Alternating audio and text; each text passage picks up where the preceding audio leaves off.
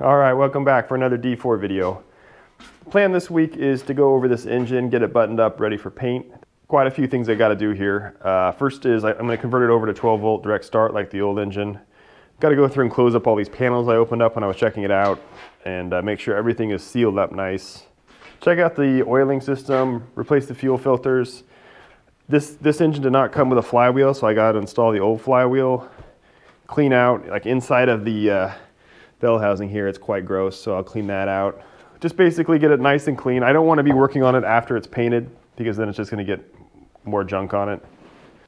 Over on the transmission case cover, off camera this week, I torqued everything down to spec. I ran RTV over all these panels that need to be sealed and torqued all that stuff down. For the steering clutch cover and the main clutch cover, I had a cork gasket that I made. And what I did there is I did a uh, Permatex number three, and then the cork gasket, and then grease, um, and then the cover. And the reason that for that is they need to come off occasionally, and you don't want the cork to stick to the cover, but you actually want it to be sealed. I did rebuild the shifter on camera. I'll splice that video in at some point in this video. It's so much nicer than it was basically all new parts except for like a, a couple things you'll see. The one other thing I haven't installed yet is this. This is the winch like gear selector. I started to paint it, but then I noticed we have what appears to be baby's first welding job going on. So I gotta fix that first. I'll just grind it down and uh, patch that up. I definitely have not been sitting on the back of this pretending like I was driving it though. In the previous video, I adjusted the brakes before the cover was on. That was dumb, don't do that. Basically, you need to put these pedals back in, which I've done. And uh, they, the stop is the actual case. So you have to adjust them once it's all back together, which is not a big deal. It's just a 916 socket that goes right in there that you can adjust. Or there's probably a $400 cat tool. Down here, I reinstalled the cover. I guess we should talk about that. There's still some RTV barfing out of there. That's fine. So before I install the cover, I took the least fat of my fingers, which is the pinky, and I ran it in there right on the inside edge, which I hadn't, I guess I hadn't done before, and there was a ton of grit. And let me, let me show you what I got. So here's the three pieces I found right here. And uh, did a little CSI investigation here and found that this is definitely a piece of the gear. So it actually, this makes me feel a lot better because since there's this is all I found and I'm 100% sure I got all the, the crap out of that case, that means that someone before had taken the, the, the chips out. So it was an old repair and they just didn't catch these last few pieces that were in the bottom of the case. So we'll call that 100% uh, done. I'm not really sure where to start with this. Uh, since this plate's open, I guess I'll start with the fuel system. First thing I want to do is close this plate up. Originally, I was, I was planning on readjusting all this stuff, but I think I'll just run it for a while and see how it actually runs. This engine looks like it was rebuilt recently, uh, with the internals at least, so there's a good chance this is all going to run just fine. But I don't want to get a bunch of junk in here because this is all like the uh, really important stuff. In case you missed it, I've already kind of looked over this engine a tiny bit just to make sure it rotates and all the insides looked okay. Um, if you look in the, the description of this video, you'll see a playlist with all the D4 videos I've been doing. It's bad timing, dog.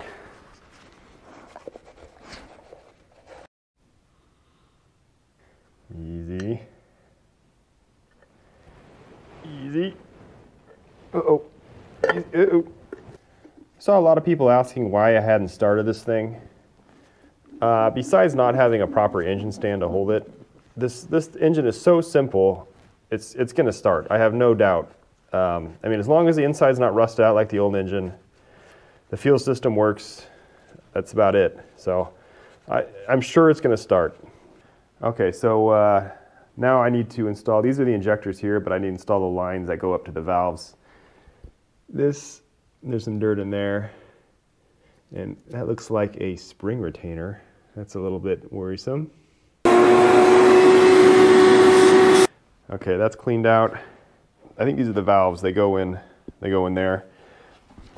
These are uh, pretty dirty. A lot of carbon on them, so I'll clean them up. They're really easy to clean.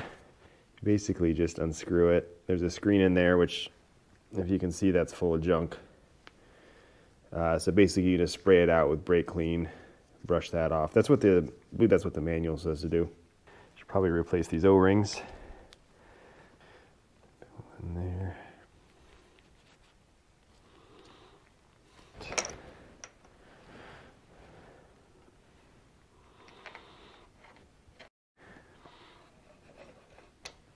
I was peeling off the O-ring for this one and you can see the hole there. It's This thing is falling apart. Fortunately, I have a spare engine, so this one is off the other engine and it's, it's good. Yeah, cylinder number two had the same thing. I think it's just a different design because it looks a little bit different on several, diff several different ways.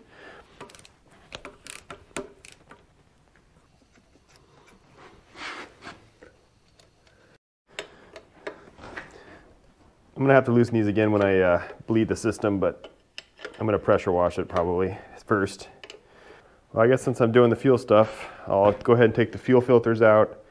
I actually ordered two gaskets. I think I think you need two gaskets to take this out, if I remember from the other one. So those are on the way along with the fuel filters. And uh, I'm not sure this is a prime. What I don't know what this is, but uh, we'll figure that out next. I also, so there's two fuel uh, gauges on here. This one's pretty nasty.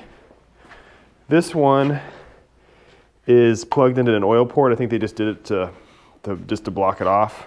So I'll probably take that other one, and I think it's supposed to go in here. So I'll go ahead and put that in and uh, get this old crappy one out of the way.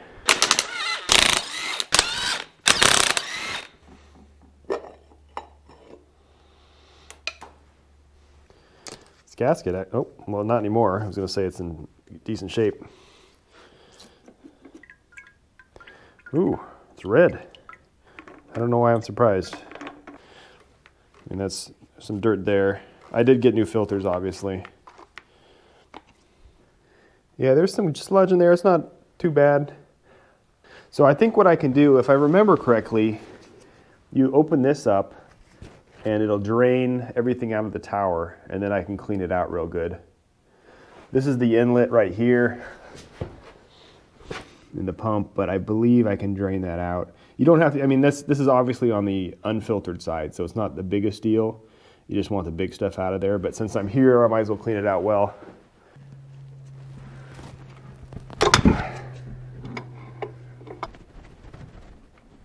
Ah, what?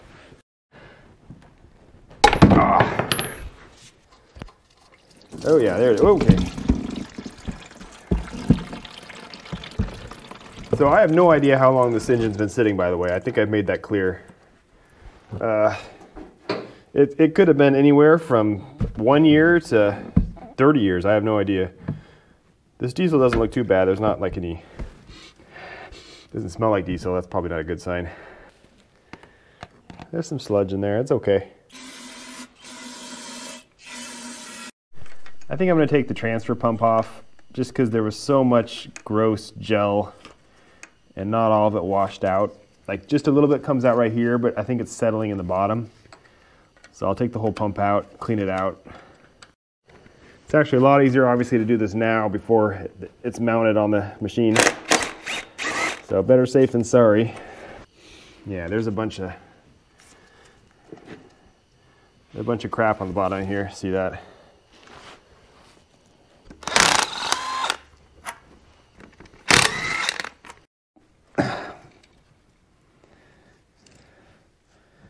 Yeah, there's, I mean, there's definitely been water on the bottom of here. As you'd expect, it's been sitting here for so long. This lower part can come off too.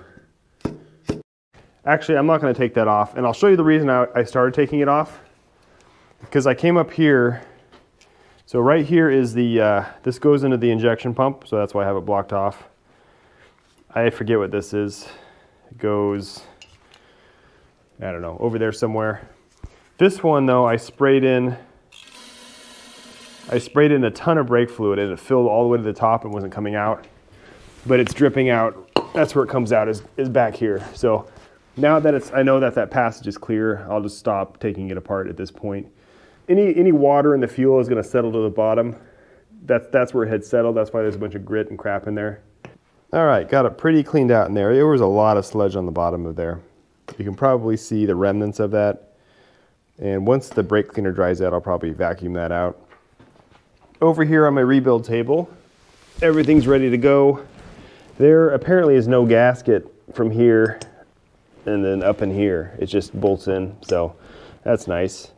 These parts are pretty clean, you'll notice that. That is thanks to a subscriber, Adam, that sent me a parts cleaner. Thank you very much, I've been using that and you can see the results here. All right, well, while we're on the topic of that, sometimes people will send me an email asking how to like support the channel monetarily. Uh, you know, guys, I'm not here to make money. I'm not, I don't want to quit my day job. I'm just making videos of what I'm doing. If you want to support the channel, just watch the videos.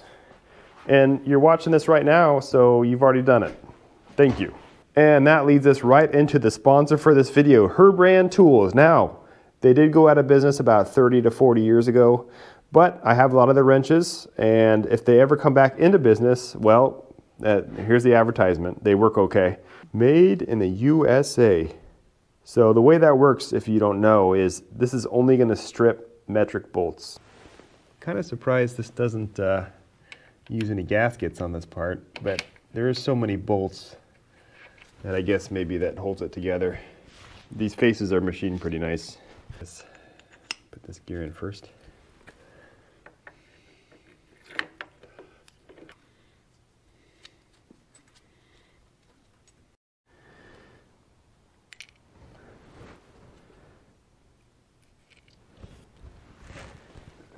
I think this went that.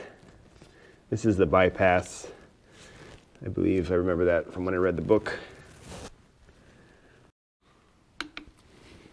I let this set for a sec and then I take the cover off and I'm not happy with how much RTV is getting in these ports. So I cleaned the ports out. I kind of reduced the amount of RTV that's around and uh, I cleaned this one out too. I'd rather it leak than it get clogged up. There was no copper washer on this. I'm assuming it needs one, so I put one on. That's probably why this thing was on about 800 foot-pounds.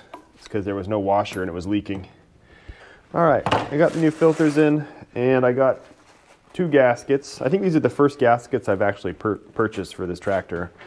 But I have a feeling I'm gonna be taking these, uh, taking the fuel tower off and on a couple times. These appear to just to be like a, a wire mesh screen wrapped with string. So I'm sure that's fine. And there was a Napa part number that I found, but this was the uh, interchange. It's also a cat number. And these were a lot cheaper. I think these were like $10 each, versus the Napa were 20 or $30 each, quite a bit more. But it, they're the same construction. They have the same string or, or yarn or whatever you call it. I think it's cotton that's just wrapped around a tube. Just screw it up. Now these are about a pound each and soaked with diesel. So these will make good uh, fire starters for the wood stove. I'm sure my wife will appreciate that. And I believe this went in here.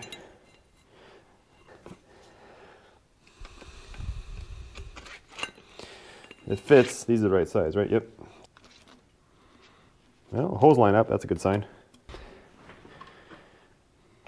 There's not really a, I don't know how tight, hard to tighten these things, but I guess as long as they're in there, it's okay.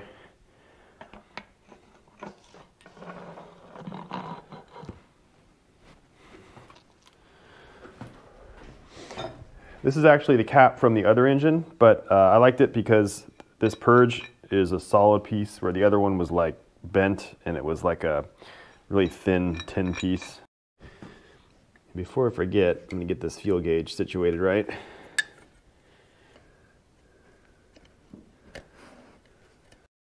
Okay, so it's run, it's routing behind here. It comes straight through. There's enough slack for it to stick out.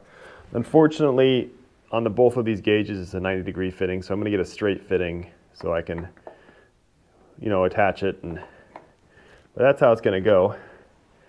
So that was nice. The old engine didn't have this. This is a nice uh, addition so you can check fuel pressure.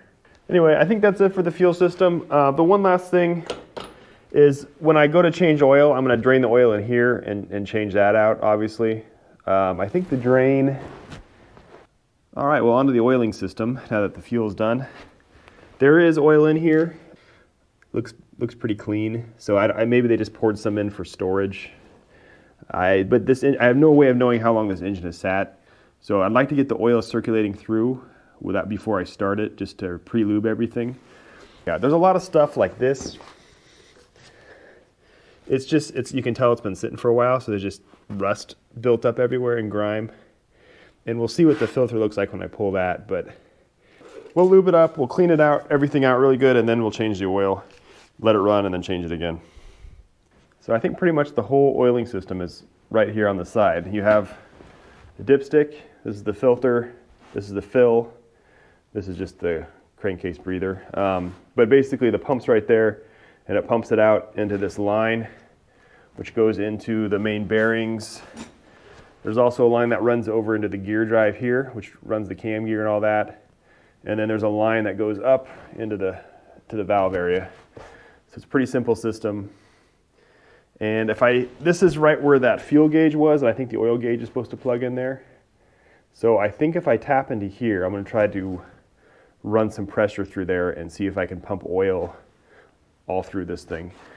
This did originally have an oil cooler, which went, this is the inlet and outlet right here. Apparently, I did some reading on that. I, that was very, very common to, to delete that. It was just on the really old, early oils. They, uh, they were just, they needed to be cooled. I can see some RTV here. This is not mine. I'm gonna have to take this off to put the generator in anyways, so I might as well make, take this off now. That way I can see into the gear drive and see if there's any problems. Missing a bolt there. That's nice.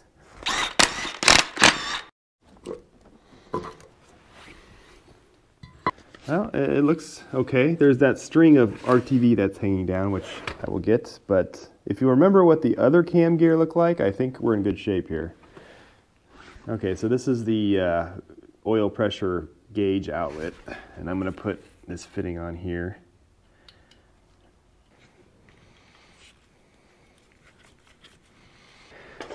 putting some pressure out. What am I hearing? Oh! I don't, why is there a passage? Uh, that's got to just be a drill hole for the oiling port.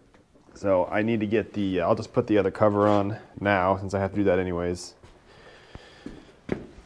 Think this is it right here. A lot of bolts on there. Those probably aren't too important. Let's dump those out. There we go. So this should mount up here. Now the other, uh, I got the other side clean. It was actually RTV'd over the original gasket material. But in their defense, that original gasket material I think was made out of concrete because it took me about 15 minutes with a knotted wire wheel brush to get it off.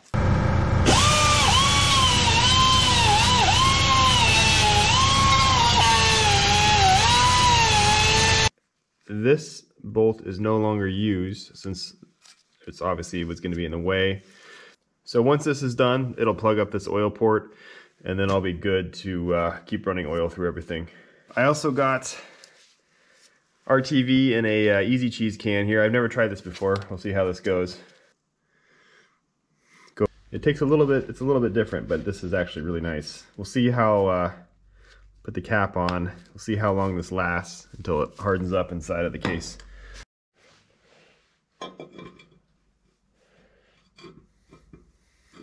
Let's see.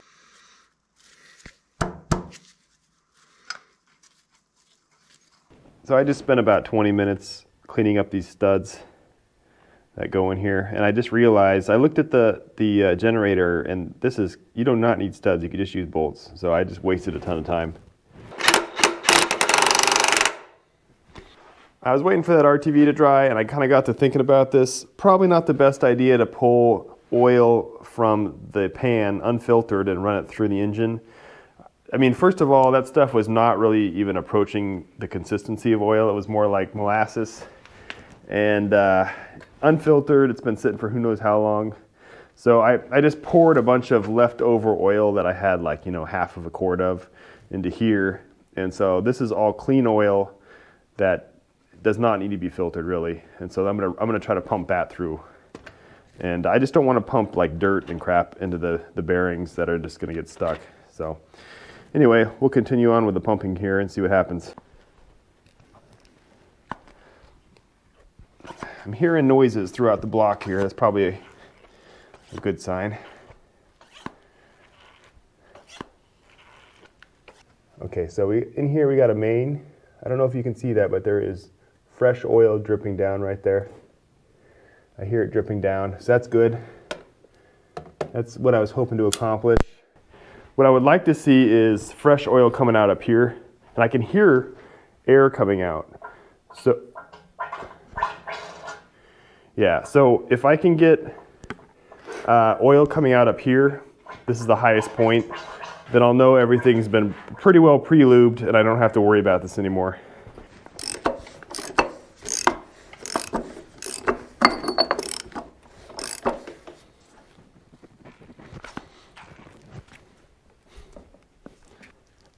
Yeah, that's better.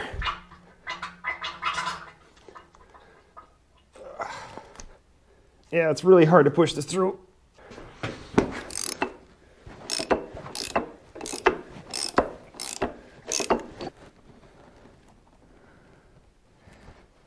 Uh, it's not purging air through the top up here anymore, so I think we're pretty close to oil coming out, hopefully. My arm's getting tired.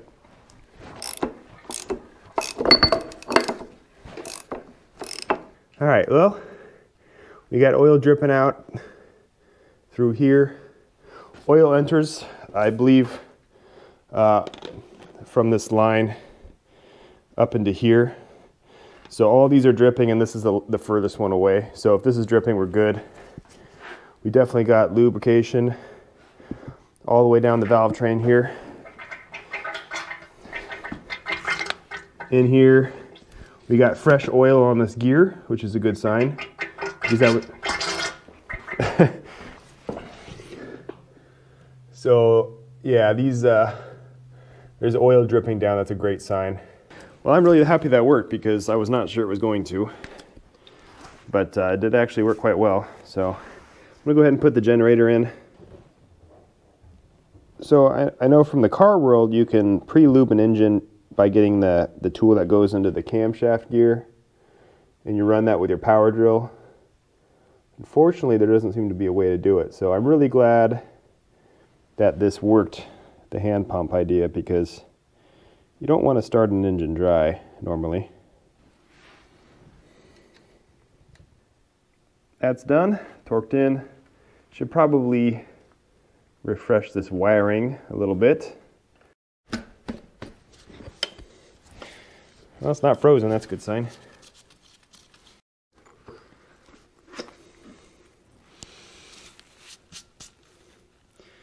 It's clean inside. Oh man, a genuine Caterpillar filter. That actually looks pretty good in there. I believe when I took the other filter off, correct me if I'm wrong, but it was like bone dry in there. This probably has fresh lube in it from all that oil I pumped through. Probably came back through the filter. Yeah. No, uh, no washer on here. It's stuck. Nope. But there's a lot of gross oil in there, and it's uh, it's draining out through the top. So that's just, yeah. So this is a uh, Napa 1161. Hopefully it's the right size. Looks right. That's a relief. Nope, that's way too big. Also way too big.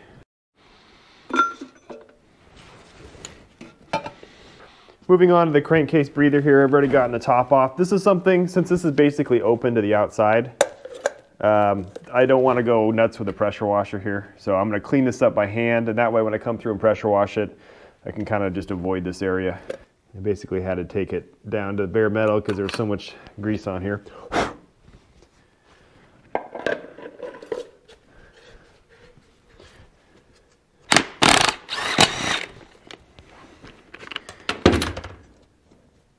Yeah, it looks good in there. I think just this thing needs to be cleaned out.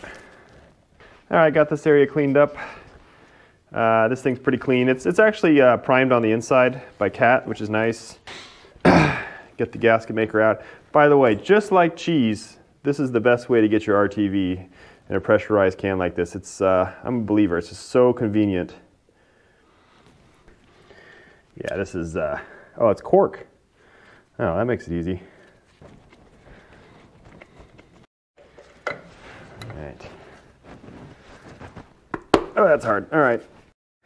This thing is really sticky on here too. I think it's because of the just the rust scale built up around here. The dipstick looks good though, except for all the rust on the end. All right. Back to the shifter here. So this, this is the original style shifter from my serial number should be in here and it's not the same shifter. And I think the reason they changed it is I have the newer clutch control and the newer clutch control has a pivot point that's integrated into the bottom of the shifter. It's, a, it's like a separate plate. Here, this is the straight shift, uh, straight clutch. It doesn't have that. I, I don't even know how it's connected on there. So I'm guessing that's why they swapped the shifter over. I was able to find uh, these two parts.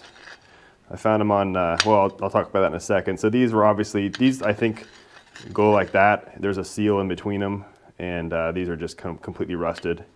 So fortunately I was able to replace those. This is the bottom plate that the boot goes around, and this thing is pretty uh, pitted up. It's not really structural, so I'll see if I can do something to fix that. We'll get to that in a second. Got the new boot here, and it's it's exact. It's exactly right. It's the like a looks exactly like the old one, so that's good. Got the shifter painted. Oh, I also found a new seal too, which I looked up the seal part number, and this was listed as the replacement part. Uh, so this is what the seal looks like. Oh, I also ordered a new spring since this one's pretty rusty. I was gonna, I, I found this, but I didn't order it because this one's in decent shape. So I'm still waiting for uh, these two parts to come in, so I'll work on this here while I'm waiting. And uh, what I'm thinking is I got some wire rod.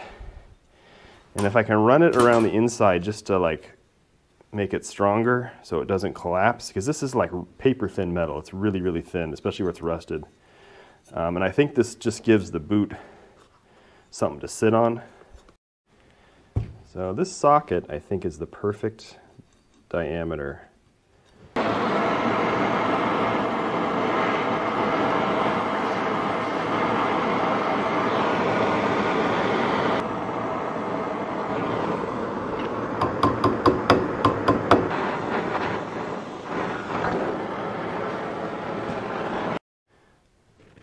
Down here.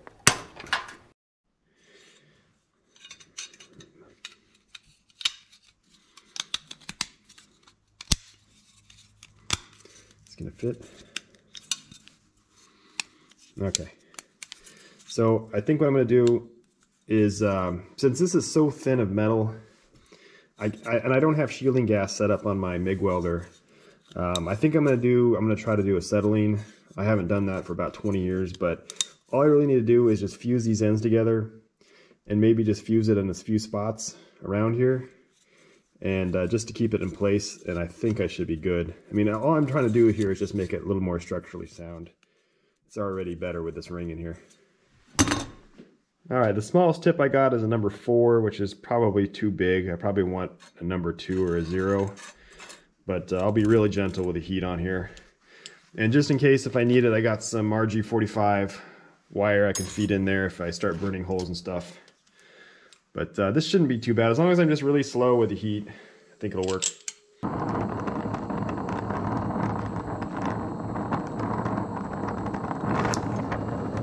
There we go.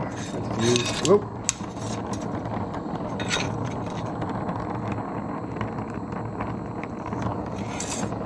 All right, I'm just gonna go a couple spots just to pack it in.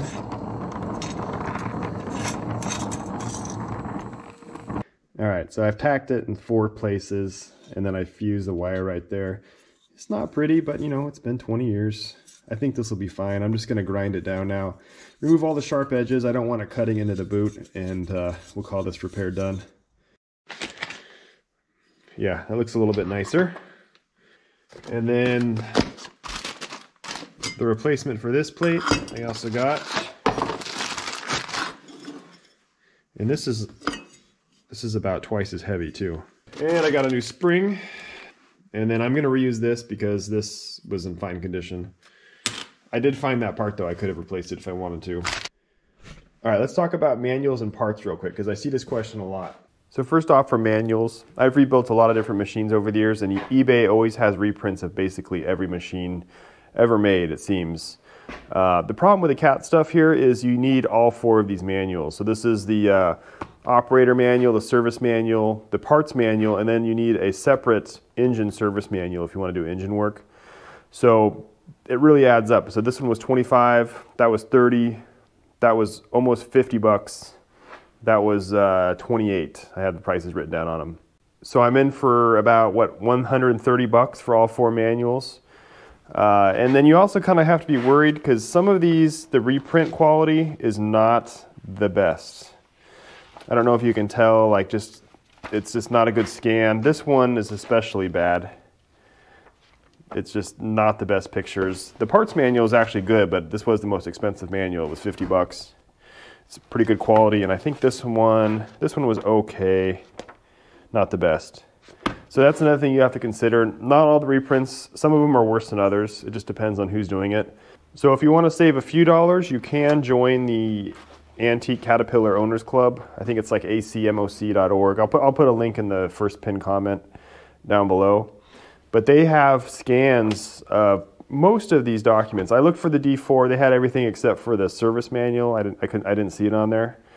Uh, but for 40 bucks a year, you have access to a, a, ton of old cat manuals, parts, you know, parts, all the stuff that, uh, a lot of the stuff that you might need, especially if you're just doing a little bit of work and you just need, you know, to quickly check a parts diagram, that's probably the way to go. I mean, just this book, like I said, 50 bucks, so that's a year membership right there. That's less than a year or more than a year membership. The only issues, you can't save the files. You can't. I don't think you can do a direct print. You can like screenshot them, but uh, I think that's relation. That's because of their their copyright agreement with CAT. Uh, but the other benefit is you also can. They have a forum. You can read the forum for free now but they, uh, you can also post questions on there, and there's a ton of guys that are very helpful to help me out. I joined probably halfway into this project, and uh, it, it, was. Uh, I'm glad I did. I I hate joining uh, membership stuff because I don't know. I just feel like I, I, it's just a weird feeling. I just don't like doing it. But I'm glad I did because I, I've gotten my forty dollars worth out of it for sure. It's only been about three months too. Know, my, my biggest issue with that site though is if you're not a member and you go there, it just says they have a lot of tech, technical documents. It doesn't say what they actually have. So they really need to have a publicly searchable database that you can see what they have before you actually pay for it. All right, for parts, uh, there's really two, two options here. So if I needed like to get a new one of these, for example, I would immediately go to the General Gear website. There's an email you can just type in and ask. If you give them the part number and tell them what it is and what it's off of, they have it. I mean, they he's he scraps out tons and tons of machines, and he has basically any replacement part that's not a consumable. He also has the steering clutches, the main clutches. If it's something like this, uh, I just take the part number and I put it into Google, and like 99% of the time it shows up on eBay. On this old cat stuff, the part numbers are always, always six digits long, even when they're not six digits long in the parts manual. So for example here, here's a normal part number for this boot, which is 6 or 8F8079. So it's number, letter, number, number, number, number. Right below it is L-888. So that's only four digits. You have to stuff in the missing digits with zeros. So if you go and you search for L-888, you will, you will find nothing. But if you search for 0L0888, you will find this, which I think was like $10 on eBay for this, for this, uh, for this cover here. Now, I could have also gone to General Gear and gotten one that was probably in okay condition off of a, a wrecked one, but it's always worth it just to go look online first and you'll find it. So that's that's really all I'm doing for parts. Um, I know I, I, I, think I saw uh, on Squash's channel he gets some stuff from Floor & Tractor. I, have never used them. I, I don't know about them, but um, you know, in the first comment on this video, I will post. I'll, I'll do a sticky of all the links of where I found stuff. And you can see there, or you can add stuff if you have any other suggestions for other people. This goes in here.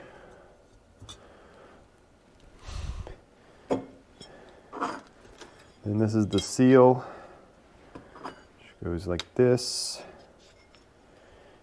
Just trying to figure out what we're trying to seal out with this thing. Maybe this is actually isn't a seal. Maybe this is just like a uh, just a, a bearing kind of thing where it's helping it rotate. I'm trying to figure out what I should grease. So I should probably grease the inside of this cup. All right. So, I don't know, maybe I should just put a ring around the outside of this too. Okay. I get all this stuff pretty greased up here. So that goes there. A gasket. I'm just following the uh, the exploded diagram here. And then this.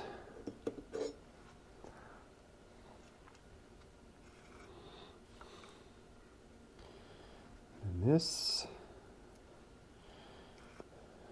And this.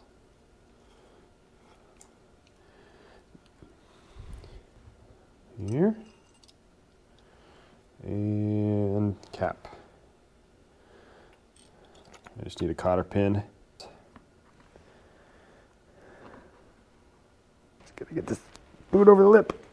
All right, so I gotta put, there's a washer that goes over, I didn't realize it until I looked at the parts diagram, that goes over the top of the boot, uh, right around this thing. And then I need to put the handle on, but that's it. I'm really glad I rebuilt this thing though, because I mean, I could have just said, oh, it's fine and thrown it on, but it, uh, it had holes in it, and, and this is water that would go right into the transmission. And plus, it was all rusting out inside. Now, I've pre-painted this thing because I do not want to paint over the rubber. I just, there's nothing worse than painted over rubber.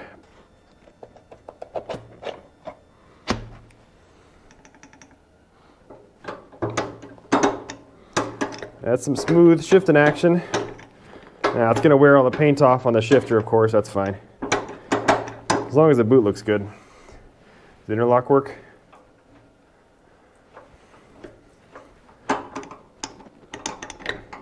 Oh yeah. Let's try it in gear. I think before last time it didn't work when it was in gear and then you had the interlock on. Yeah, that's solid. Yes. All right, I'm glad, really happy that works.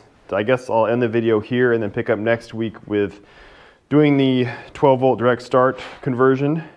Now, I know a lot of people are gonna get, probably gonna get upset about that because I don't have a pony motor, you know, how it was originally done.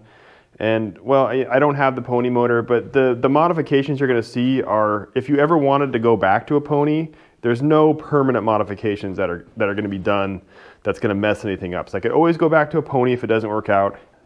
The current painting plan is I'm going to use this stuff. I've, I've heard it works really well on really greasy stuff. Ram cleaner. Uh, I'll, I'll, pressure wash it first, then I'll put this stuff on to uh, get the big stuff off. I'm going to be using an uh, adhesion promoter. I've used this before on in, in cars and it works really well. And then this is the paint I'm using. I get questions about this. So this is the paint I picked out. Uh, it's very, very good stuff and it's matched to Cat Highway Yellow. So I actually need to probably order another gallon. It's going to take at least two gallons to do this, and you don't want to finish one gallon and start another. You want to kind of mix as you go, or else the paint, the color is going to be all screwed up. I was just planning on painting the engine and the transmission and leaving everything else, but it might be a while before we have good enough weather to roll this thing out and, and clean it really well. So I might go over the undercarriage next, and you know, frankly, I don't think there's going to be much to do on this undercarriage. Um, well, I'll go over it more in a later episode, but, but basically this undercarriage has been worked on recently. There's a lot of stuff that's been replaced on it, and it's I think it's in really, really good condition. Um, and, and, that's kind of the reason I even bought this thing to begin with.